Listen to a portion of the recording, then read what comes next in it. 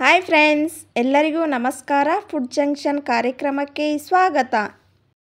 ಇವತ್ತು ನಾನು ಮಾಡ್ತಾ ಇರೋ ರೆಸಿಪಿ ಏನಂದರೆ, ಉತ್ತರ ಕರ್ನಾಟಕದ ಸ್ಪೆಷಲ್ ರೆಸಿಪಿಯಾದ ಮೂಲಂಗಿಕಾಯಿ ಪಲ್ಯನ ಮಾಡ್ತಾ ಇದ್ದೇನೆ.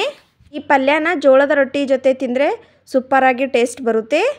ಚಪಾತಿ ಜೊತೆನೂ ಕೂಡ ತಿನ್ಬೌದು ಹಾಗಿದ್ರೆ ಮಾಡೋ ವಿಧಾನ ತಿಳಿದುಕೊಳ್ಳೋಣ ಬನ್ನಿ.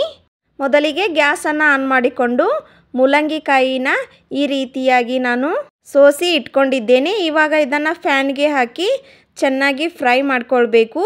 ಮೇಲೆ ಸ್ವಲ್ಪ ಎಣ್ಣೆಯನ್ನು ಹಾಕಿ ಫ್ರೈ ಮಾಡಿ. ನೋಡಿ ಫ್ರೆಂಡ್ಸ್, ಸ್ಪೂನ ಸಹಾಯದಿಂದ ಈ ರೀತಿಯಾಗಿ ತಿರುಗಿಸ್ತಾ ಇರಿ. ಮೇಲೆ ಸ್ವಲ್ಪ ಕಪ್ಪು ಬಣ್ಣಕ್ಕೆ ಬರಬೇಕು. ಚೆನ್ನಾಗಿ ಫ್ರೈ ಆಗಿರುತ್ತೆ. ನೋಡಿ ಫ್ರೆಂಡ್ಸ್, ಕಲರ್ ಚೇಂಜ್ ಆಗ್ತಾ ಇದೆ. ಈ ಮೂಲಂಗಿಕಾಯಿಯಲ್ಲಿ ನಾರಿನಾಂಶ ಜಾಸ್ತಿನೇ ಇರುತ್ತೆ. ಇದು ನಮ್ಮ ಆರೋಗ್ಯಕ್ಕೆ ತುಂಬ ಒಳ್ಳೆಯದು. ಇವಾಗ ನಾನು ಅದನ್ನು ಒಂದು ಪ್ಲೇಟಿಗೆ ತೆಗೆದುಕೊಂಡು ಒಂದು ಪಾತ್ರೆಗೆ ಎಣ್ಣೆಯನ್ನು ಹಾಕಿಕೊಂಡು ಸಾಸಿವೆ, ಜೀರಿಗೆ, ಸ್ವಲ್ಪ ಕರಿಬೇವು ಸೊಪ್ಪನ್ನು ಹಾಕಿ ನಂತರ ಕಟ್ ಮಾಡಿದ ಈರುಳ್ಳಿಯನ್ನು ಹಾಕಿಕೊಳ್ಬೇಕು. ಇದನ್ನು ಚೆನ್ನಾಗಿ ಫ್ರೈ ಮಾಡಿಕೊಳ್ಳಿ. ಫ್ರೆಂಡ್ಸ್, ಈ ಮೂಲಂಗಿಕಾಯಿ ಎಲ್ಲ ಸೀಸನ್ನಲ್ಲೂ ಸಿಗುವುದಿಲ್ಲ. ಫೆಬ್ರವರಿ, ಮಾರ್ಚ್ ತಿಂಗಳಲ್ಲಿ ಮಾತ್ರ ಸಿಗುತ್ತೆ. ಈ ಪಲ್ಯನ ಬಿಸಿ ರೊಟ್ಟಿ ಜೊತೆ ತಿಂದರೆ ಸೂಪರಾದ ಟೇಸ್ಟ್ ಬರುತ್ತೆ. ಇವಾಗ ನಾನು ಕಟ್ ಮಾಡಿದ ಟೊಮೊಟೊ ಹಣ್ಣನ್ನು ಹಾಕಿಕೊಂಡು ಫ್ರೈ ಮಾಡ್ಕೊಳ್ತಾ ಇದ್ದೇನೆ. ಟೊಮೊಟೊ ಹಣ್ಣು ಕೂಡ ಎಣ್ಣೆಯಲ್ಲಿ ಚೆನ್ನಾಗಿ ಫ್ರೈ ಆಗಬೇಕು.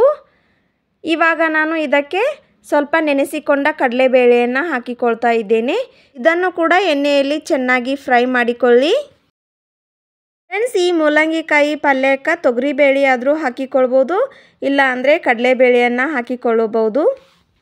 ಇವೆರಡರಲ್ಲಿ ಯಾವುದಾದ್ರೂ ಒಂದು ಹಾಕಿಕೊಂಡು ಮಾಡೋದ್ರಿಂದ ಪಲ್ಯ ಟೇಸ್ಟು ಸೂಪರಾಗಿ ಬರುತ್ತೆ.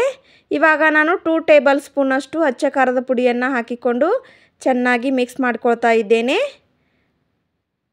ನಂತರ ಚಿಟಿಕೆ, ಅರಿಶಿನ ಪುಡಿಯನ್ನು ಹಾಕಿಕೊಳ್ಳಿ.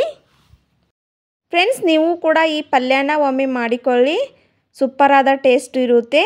ಇವಾಗ ನಾನು ರುಚಿಗೆ ತಕ್ಕಷ್ಟು ಉಪ್ಪನ್ನು ಸೇರಿಸ್ಕೊಳ್ತಾ ಇದ್ದೇನೆ.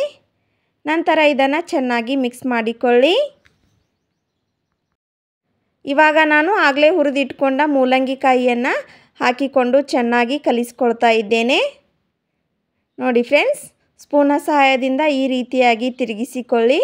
ಎಷ್ಟು ಕಲರ್ಫುಲ್ಲಾಗಿ ಎಷ್ಟು ಚೆನ್ನಾಗಿ ಪಲ್ಯ ಬಂದಿದೆ ನೋಡಿ. ಫ್ರೆಂಡ್ಸ್ ಇವಾಗ ನಾನು ಇದಕ್ಕೆ ಅರ್ಧ ಬಟ್ಲು ನೀರನ್ನು ಹಾಕಿಕೊಂಡು ಚೆನ್ನಾಗಿ ಕುದಿಸ್ಕೊಳ್ತಾ ಇದ್ದೇನೆ. ಎರಡು ನಿಮಿಷ ಕುದಿಸ್ಕೊಂಡ್ರೆ ಸಾಕು. ನೋಡಿ ಫ್ರೆಂಡ್ಸ್ ಇವಾಗ ಮೇಲೆ ಕೊತ್ತಂಬರಿ ಸೊಪ್ಪನ್ನು ಹಾಕಿಕೊಳ್ಬೇಕು.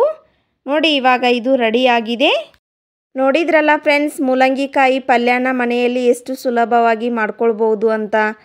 ಫ್ರೆಂಡ್ಸ್ ನೀವು ಕೂಡ ಹೊರಗಡೆ ಹೋದಾಗ ಈ ರೀತಿಯಾಗಿ ಮೂಲಂಗಿಕಾಯಿ ಸಿಕ್ಕರೆ ಈ ವಿಧಾನದಲ್ಲಿ ಒಮ್ಮೆ ಟ್ರೈ ಮಾಡಿ ತುಂಬಾ ಟೇಸ್ಟ್ ಆಗಿರುತ್ತೆ. ನಾ ಮಾಡಿರೋ ಈ ರೆಸಿಪಿ ಯಾವುದೇ ಒಂದು ಕಾರಣಕ್ಕಾದರೂ ನಿಮಗೆ ಇಷ್ಟ ಆಗಿದ್ದರೆ ಪ್ಲೀಸ್ ಲೈಕ್ ಮಾಡಿ, ಶೇರ್ ಮಾಡಿ. ಇನ್ನಷ್ಟು ಈಸಿ ರೆಸಿಪಿಗಾಗಿ ನನ್ನ ಚಾನಲನ್ನು ಸಬ್ಸ್ಕ್ರೈಬ್ ಮಾಡಿಕೊಳ್ಳಿ. ಮುಂದಿನ ಇಂಟ್ರೆಸ್ಟಿಂಗ್ ರೆಸಿಪಿಯೊಂದಿಗೆ ಮತ್ತೆ ಸಿಗ್ತೀನಿ. Keep watching. Thank you.